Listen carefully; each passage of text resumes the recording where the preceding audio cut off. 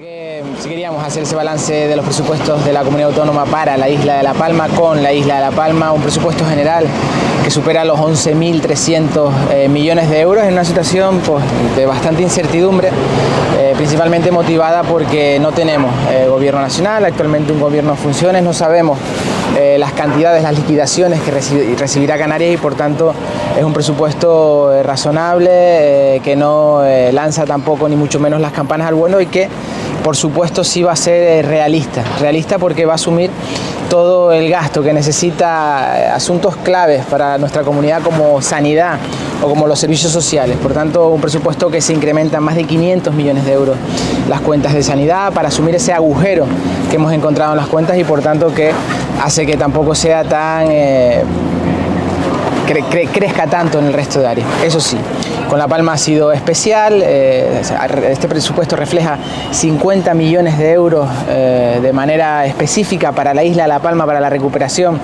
eh, social y económica de la isla. También contempla una bonificación al combustible, algo que hemos trabajado desde el Partido Popular desde hace años y al final es la única solución que hemos encontrado a través de la Consejería de Hacienda y Energía que dirijo, seremos los responsables de llevar adelante este, esta bonificación que esperamos que pueda estar en marcha durante el primer semestre del próximo año y que no solo eh, tendrá como beneficiario a, eh, los vecinos en sí, sino también, a diferencia del, incentivo que impulsó también el Gobierno de España hace algunos eh, meses, también a, los agricultores, esos agricultores que repostan en las cooperativas, esas, esas empresas privadas que tampoco tuvieron la opción de acogerse a, ese, también, a esos 20 céntimos que el Gobierno de España el pasado año puso. Por tanto, vamos a intentar ir más allá y también eh, intentar hacer un control de precio. Además, existe de manera específica un millón de euros para infraestructuras turísticas en la isla de La Palma. Cuando más lo necesitamos, la isla te necesita de nuevo tomar el pulso turístico, seguir avanzando y por eso esa, esa apuesta también eh, por las infraestructuras turísticas en la isla. Ya, como bien saben, ese fondo de vuelo se ha puesto en marcha, esa financiación eh, está en, funcionamiento en estas cuentas del año 2023 y además también eh, líneas eh, fundamentales en el presupuesto referidas a vivienda. Hemos conseguido el Partido Popular que el compromiso del consejero de vivienda para que las viviendas de finca amado por fin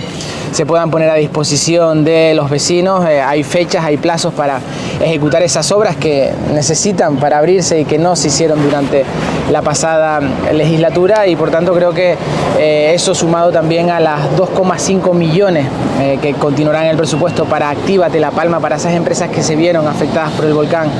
puedan volverse a poner en marcha, puedan volver a recuperar su actividad a través de la Consejería de Economía. Yo creo que son muchas de las actuaciones que unidas a actuaciones en residuos, actuaciones en transición ecológica, a través de los fondos NEXT que también tienen como finalista la isla de La Palma, podemos decir que es un presupuesto importante con La Palma, ambicioso para intentar recuperar eh, socialmente y económicamente la isla de La Palma y por el que estaremos muy pendientes y preocupados eh, cada día para que seamos capaces de ejecutar la totalidad de esos fondos. Consejero, dice, vienen 50 millones más para la isla de La Palma, entiendo que asociadas a la recuperación tras la erupción volcánica, no sé si en términos porcentuales o cuantitativos, puede especificar cuánto dinero está presupuestado en el documento, por lo menos en el proyecto de presupuesto, eh, las cantidades para la isla de La Palma en términos globales. En términos globales son esos 50 millones de euros eh, para, eh, para la recuperación social y económica de la isla, que podrían llegar hasta 150 en las cuentas del año 24. Además, el millón de euros específico para infraestructuras turísticas, además también una cuantía importante para formación y creación de empleo, de planes de empleo con la isla. Eh, además en vivienda hay varios proyectos que también esperamos eh, puedan suponer que por fin haya disposición de mayor número de viviendas y que por fin podamos hablar de nuevas promociones de vivienda pública en La Palma. Desde el año 2013 no se inaugura eh, vivienda pública en la isla de La Palma, por tanto unas cuantías que van a superar con creces los 200 millones de euros de forma directa con la isla de La Palma. En otro orden de cosas, hablaba esta semana en el Parlamento de Canarias. Hablamos sobre todo eh, después de que tuviéramos eh, declarar la emergencia energética en Canarias, eh, que ha sido una de las claves necesarias también para el futuro de esta isla y que también afecta de manera directa a La Palma. Tenemos otro gran problema, otra gran prioridad de la Consejería que es atender y reducir cuanto antes de manera drástica los vertidos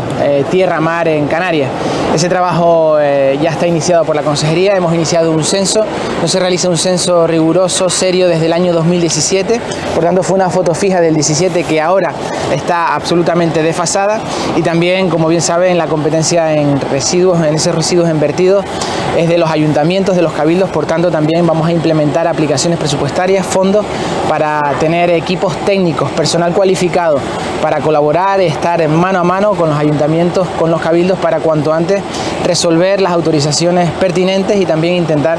eh, aspirar cuanto antes Canarias a vertido cero tierra-mar, que creo que es lo que tenemos que ponernos en el futuro como objetivo. Eso en cuanto a las energías y a la transición ecológica. ¿Qué pasos se están dando también en cuanto a la pobreza energética? La isla de La Palma depende un 90% del combustible fósil, la central de Los Guinchos, y hay un alto porcentaje de esas familias que se enfrentan a la pobreza energética. ¿Qué situación o qué pasos se va a dar desde el gobierno de Canarias para aflojar esta